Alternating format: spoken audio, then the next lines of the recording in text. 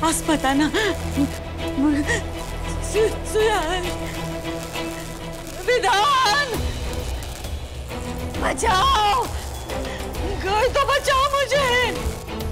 भैया बहुत हो गया मैं मॉम के पास जा रहा हूँ। छुट। विधान प्लीज़ प्लीज़ रुक जाओ।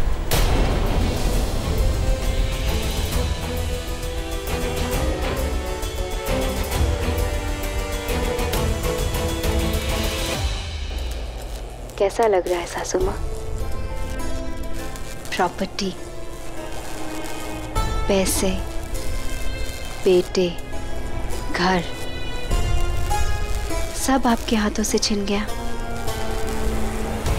याद है आपको कैसे आपने गायत्री जी से उनका परिवार छीना था? आज आपका आपसे परिवार छिन जाएगा। बताइए क्या किया था आपने उनके साथ? बोलिए क्या किया था आपने गायत्री जी के साथ?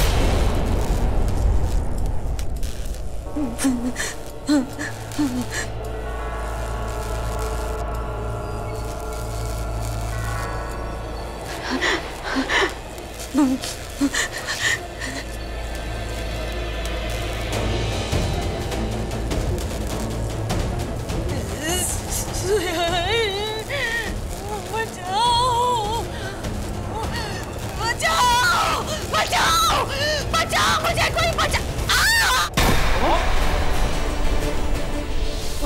मॉम मॉम डैड डैड पकड़ी मॉम को विधान मॉम आराम से आराम से मॉम तुम ये सब क्या है? हाँ? तुम जो कुछ भी कर रही हो ना उससे अभी तक ये साबित नहीं हुआ कि मॉम ने कुछ गलत किया है। वो भी होगा सुयश।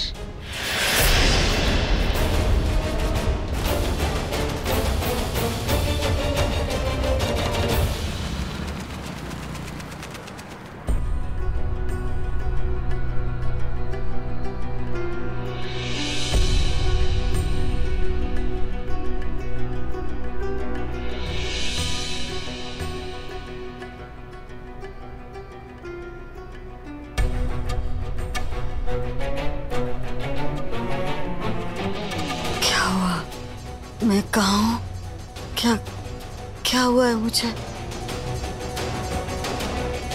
मैं तो फाल्गुनी के साथ ये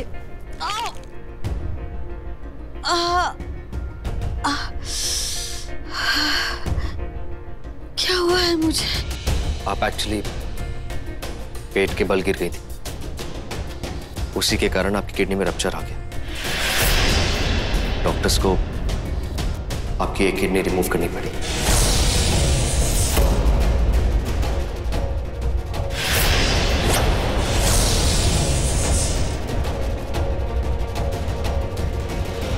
कि, कि, किडनी क्या? निकालनी पड़ी। मॉम। ऐसे कैसे हो सकता है? मैं एक छोटी सी चोट लगी थी। उसके लिए किडनी निकालने की क्या ज़रूरत थी मेरी? अगर किडनी नहीं निकालते तो आपकी जान को खतरा था। अरे लेकिन ये तो सोचो कि एक किडनी के साथ मैं पूरी ज़िंदगी कैसे बिताऊँगी। पुत्रा अब मैं और सुरेश डॉक्टर से बात करके आते हैं। तुम आराम कर।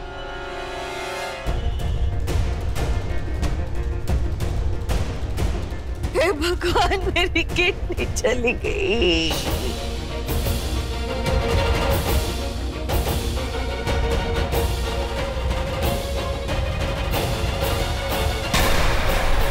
जीजी माँ। सिर्फ़ दस घंटे बचे हमने हॉस्पिटल का नकली सेटअप तो करवा लिया। पर अब आगे क्या करेंगे? बस बिट्टू अब आगे सासू माँ से सच उगलवाना है। मेरी किडनी निकाल दी। मेरी किडनी चली गई। विधान। मॉम मैं देख के आता हूँ कि डैड रुपया कहाँ हैं। मेरी किडनी।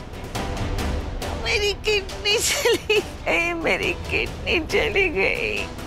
ये सब कुछ उस शोम की वजह से हुआ है। मैंने उसे कहा था मेरे साथ रहना चौबीस घंटे।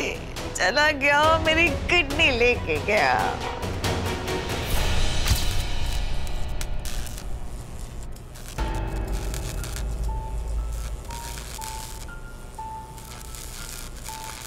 चीजी आप जल्दी से जाओ। मैं बाकी सब संभालती हूँ।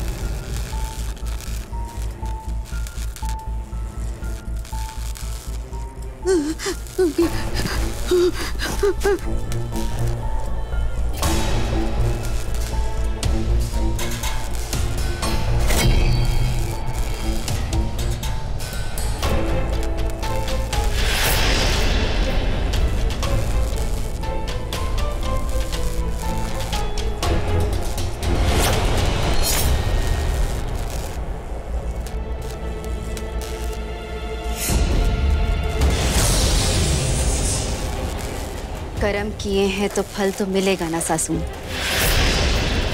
जो दूसरों के साथ जैसा करता है, उसके साथ भी वैसा ही होता है। आपने मेरी कोख निकलवाई थी ना तो डॉक्टर्स ने आपकी किडनी निकाल दी। क्या कहा था आपने उनसे? याद कीजिए। अपने सारे गुनाह कबूल कीजिए, सासू माँ। वरना आपके गुनाहों की आपको किस किस तरह से सजा मिलेगी, ये आप भी नहीं जानती।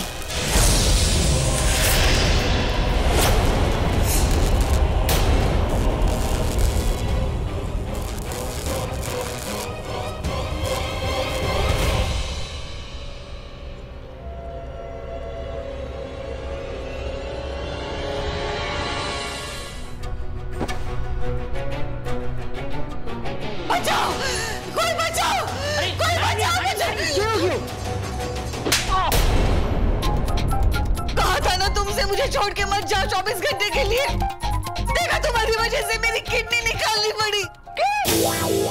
किडनी? मैडम जी, वो सर ने मैंने बताया कि फाल्गुनी का भूत आपके पीछे हाथ धो के पड़ो है, पर आपकी किडनी जाएगी ये मन ने ना पतो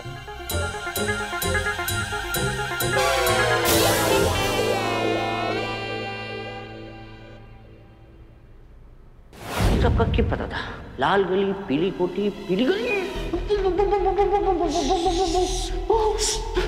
जो भी की ना आपने तो बहुत बुरा होगा सोम जी मैं तो चुप रहिए और मेरी बात ध्यान से सुनिए। हाँ सासू माँ के साथ मिलकर आपने जो भी बुरे काम किए हैं ना सबका कच्चा चिट्ठा है मेरे पास। तो अब आप या तो मेरी बात मानिए या तो सासू माँ के साथ फांसी चढ़ जाइए मैंने फांसी में चढ़ बोलो ये करना है मैडम जी मैं तो कहूँ कि वो आत्मा के साथ मांडवली करो क्या? बम्बैया में मांडवली कहते हैं समझौता कर लो। हाँ आपने अपने सारे गुनाह कबूल कर देखो वो आत्मा हो जाएगी खुश और फिर जाएगी स्वर्ग। उसकी आत्मा स्वर्ग चली जाएगी और मेरा क्या? मैं जेल चली जाऊँगी। या शायद या शायद फांसी के तो एक काम करते हैं मैडम जी। मैं आपके घर से लाया हूँ आपकी बंदूक। ये बंदूक लो और भूत को गोली मार दो।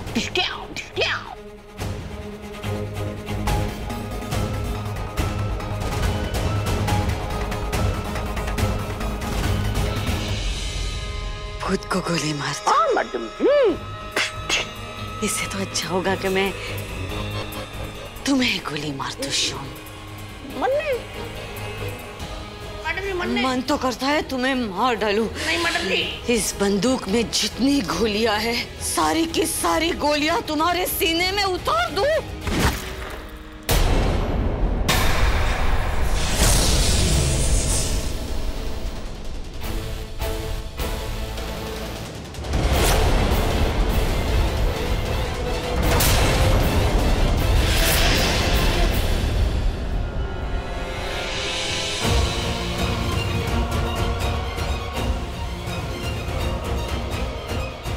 शोम उठो शोम मैंने गोली नहीं चलाई शोम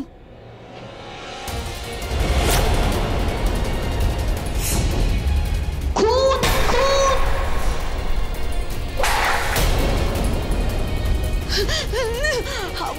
शोम शोम उठो शोम